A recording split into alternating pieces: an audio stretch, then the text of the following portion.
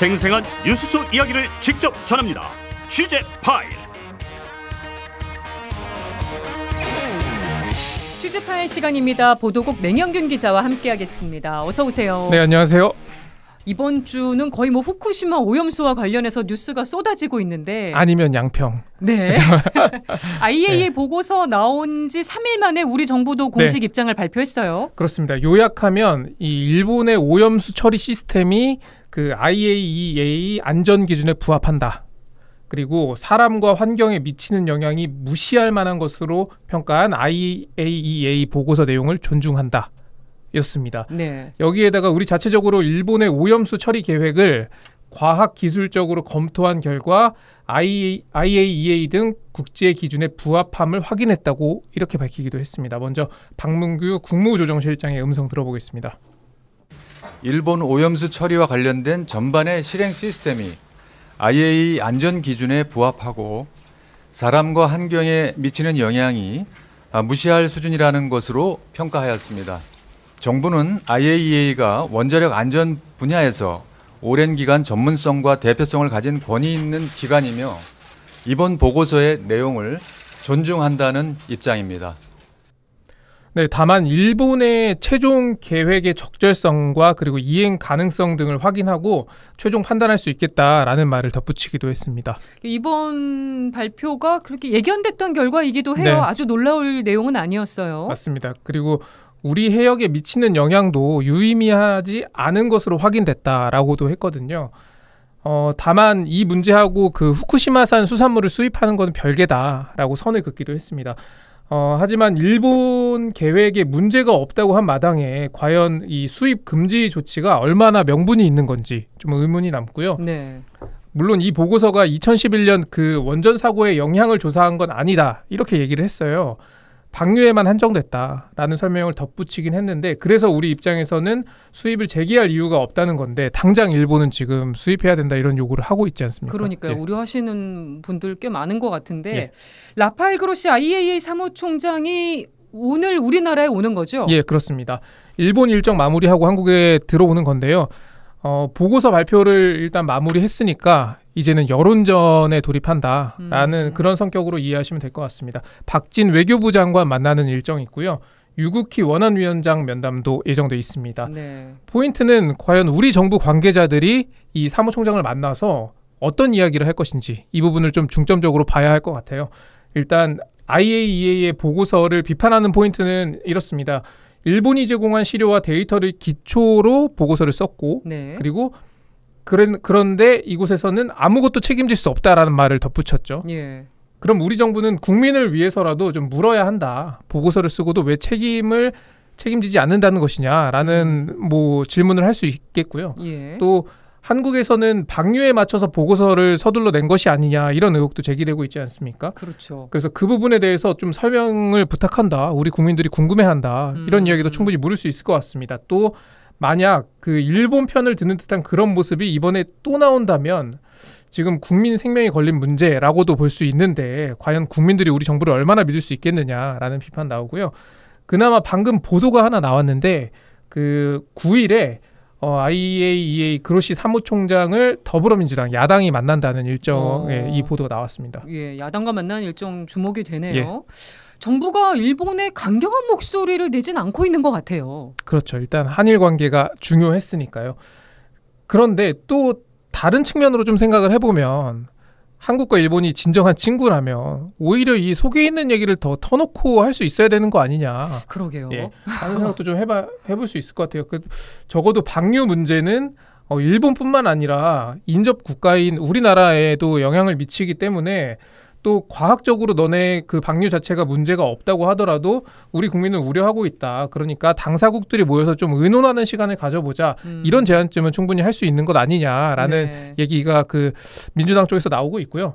또 방류밖에 방법이 없는 것인가? 다른 대안 뭐 여러 개 있는데 뭐 비용이 많이 든다면 그 비용을 뭐 함께 충당할 방법을 찾을 수도 있는 거고 뭐 이런 제안은 충분히 우리 정부가 할 수 있을 것 같은데 지금까지는 뭐 IAEA의 보고서를 존중한다 이런 메시지만 나오니까 예. 국민들은 예. 더 불안하다라는 그런 얘기가 나오는 것 같습니다. 그리고 어, 나토 정상회의에 이제 윤석열 대통령이 다음 주에 참석을 하는데 그때 한일 정상회담이 좀 열릴 것으로 보여요. 지금 뭐 추진되고 있죠. 예. 서로 조율 중이라는 보도가 나왔는데 이 정도면 거의 한다는 얘기거든요. 음, 그래서 이 후쿠시마 오염수 문제 분명히 거론될 겁니다. 여기서 또 어떤 얘기를 할 것인지 주목됩니다. 네. 그러니까 국민들이 많이 우려를 하고 있는데 이 예. 우려가 해소가 잘 안 되고 있어서 정치가 제대로 기능을 못 하고 있는 게 아닌가 싶어요. 맞습니다. 그러니까 이런 얘기는 더더욱 해야 되는 얘기인 것 같아요. 그러니까 우리 흔히 우리가 원전에 대해서 얘기할 때 기술적으로는 문제가 없다라는 얘기하지 않습니까? 네. 근데 뭐 그리고 뭐 안전하다. 그래서 뭐 원전을 돌리는데 큰 문제가 없다. 여기에는 뭐 동의할 수 있어요. 우리나라의 기술력이 세계적으로도 좋다고 평가를 받고 있으니까요. 예. 또 세계 시장에서도 한국은 비용도 적게 들고 공사도 빨리 하고 안전하고 이래서 좀 인기가 있는 거 아니겠습니까? 네.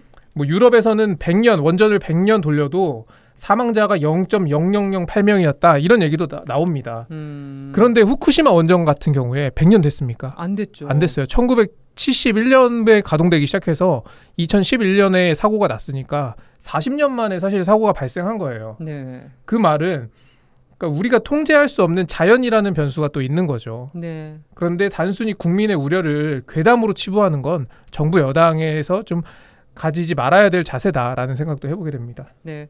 후쿠시마 오염수 문제와는 뭐 별개의 사안이긴 합니다만 우리 군이 독도 인근에서 비공개로 훈련을 했다는 소식도 예. 있네요. 네, 전혀 다른 주제지만 정부가 일본을 대하는 태도 를 생각해 볼 수 있는 사안인데요. 비공개로 한 거. 예, 우리 군이 독도 인근 해상에서 동해 영토 수호 훌- 훈련을 했는데요. 이걸 비공개로 했습니다. 통상 이 훈련을 그러니까 보도 많이 보셨을 거예요. 독도 방어 훈련이라고 불리던 그 훈련입니다. 네. 일본을 의식해서 더 비공개로 한 게 아닌가 지금 싶은 거예요. 네, 일단 국방부 관계자는 훈련 참가 전력은 예년과 유사한 수준이었다. 그리고 통상 이 훈련을 할 때마다 공개하거나 그러지 않고 훈련에 집중한다고 말했었거든요. 그런데 문재인 정부 때는 제가 이 기사를 썼던 기억이 납니다. 음. 독도 방어 훈련 역대 최대 규모로 실시 뭐 어. 그런데 알아보니까 MB 정부 때도 이명박 정부 때도 비공개로 한 적은 있었다고 합니다. 예. 네.